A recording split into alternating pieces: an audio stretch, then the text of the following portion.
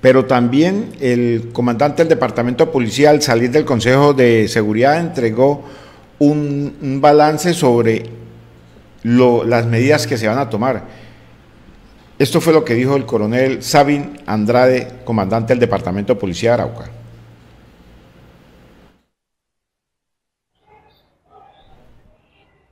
Dios y patria. El día 28 de junio se presenta un insuceso en el que atentan contra dos personas unos sujetos que se movilizaban en moto en zona céntrica del municipio de Arauca. Eh, estos hechos son materia de investigación. Hasta el momento las hipótesis que tenemos es que se trata de vendetas, producto de la actividad del microtráfico. Alternamente a esto, se intentan aproximar unos sujetos eh, sospechosos quienes cruzan disparos con la Policía Nacional, ante lo cual la reacción fue inmediata. Eh, no logramos la captura de estos dos individuos, sin embargo, seguimos con acciones conjuntas con ejército, policía y armada para hacer patrullajes en zonas urbanas de los diferentes municipios del departamento.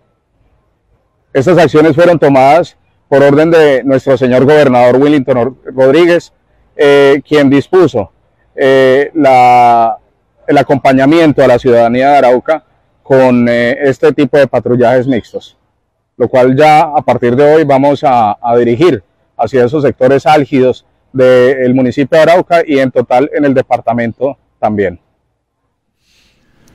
Bueno, ahí estaba el comandante de policía, esperaremos a ver si estas medidas de verdad se cumplen o no se cumplen. En Arauca el patrullaje en conjunto entre la policía, el ejército y la infantería de marina. Esperaremos a ver